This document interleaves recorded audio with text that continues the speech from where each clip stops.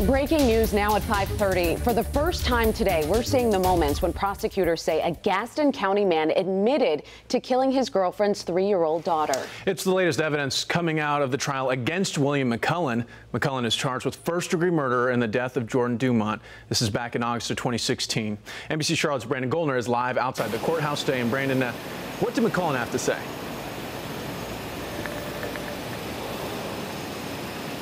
Well, Xavier and Rachel, what Gaston County Police say is that they received a call from the jail saying that Mc William McCullen wanted to talk to them after he was arrested for Jordan Dumont's murder, after he was read his Miranda rights. This is what he said. And then she was like, oh, Dad, William McCullen says those were some of the final words spoken by three-year-old Jordan Dumont as he described what happened to her inside this home almost two years ago. He was being interviewed by Gaston County Police Detective Brian Dalton. Yeah, we're playing around. She hit her head. Yeah, that's true. He got her neck. Yeah.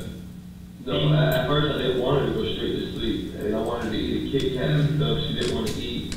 She didn't want to do nothing, and I just got mad. All she said is no and she don't back off a lot, but that pisses, it always made me mad. It pissed me off whenever she says no. I was trying to give her a spanking, and she rolled over onto her stomach, and I was trying to roll her into her butt so I could spank her butt, and she said no. And when she rolled onto her back, and I punched her in the stomach. She cried? Nah, she, uh, she said, oh, like, I mean, she, it hurt her.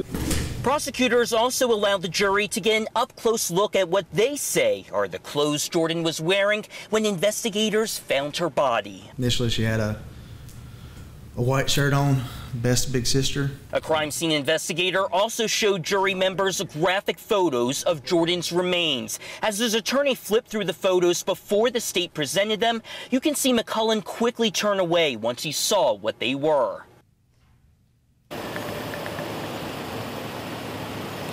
And the state is expected to wrap up its presentation of the case with one more witness, a medical examiner, tomorrow morning. Then it will be the defense's turn to present their case.